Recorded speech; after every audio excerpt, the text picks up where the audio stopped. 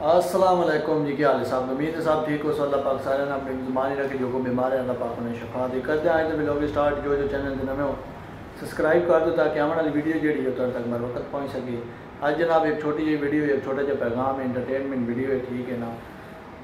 ये जी वीडियो अज अस बना रहे हैं जो तुम पता है कि जितने कोई लोग दो हज़ार बाई वाले या पिछले जितने कोई लोग दो हज़ार त्रेई तो बगैर जितने भी पिछले लोग बने उन्होंने हो रहे हैं वीजे लग रहे हैं रिहायरिंग प्रोग्राम शुरू हुआ और रिहायरिंग प्रोग्राम इस टाइम थोड़े जे दिन रह गए इकती दिसंबर लास्ट दिन है,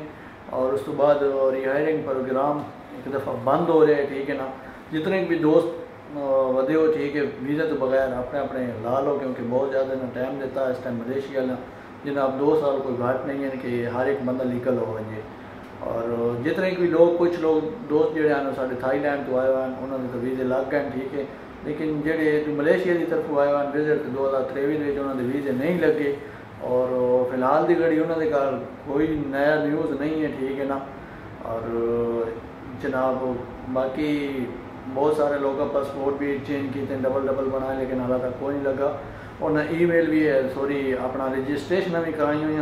लेकिन फिंगर उन्होंने नहीं हाल तक हो रहा और आज कोई अगर कोई इंशाल्लाह दो हज़ार त्रेवी के बारे नवा पैगाम आया कि जेडे दो हज़ार त्रेवी के बंदे आए उन्होंने दो हज़ार चौबी फिंगर हो रहे हैं तो इंशाल्लाह तो वीडियो लाजमी शेयर कर लेकिन इस टाइम तक कितने की अपडेट आई। और उम्मीद है वीडियो साड़ी तुम पसंद आई हो और आउट पास आउट पास भी जनाब लग रहे हैं स्पेशल ठीक है ना जितने भी ज़्यादा बंदे ओवर सटे, जितने ज़्यादा ओवर सटे उसके मुताबिक उन्हें जुर्माना हो रहा और पाकिस्तान जा रहे हैं लोग, ठीक है ना। ये जनाब थोड़े इमीग्रेशन के अंदर डायरैक्ट काम आना ठीक है क्योंकि पहले आउट पार लगते हैं आते हैं, ओपन तो रुपये पाँच सौ फ़ीस आई, पाँच सौ रेंगे लेकिन इस टाइम वो पाँच सौ वाली गल कराई नहीं है ज़्यादा खर्चा आता पे।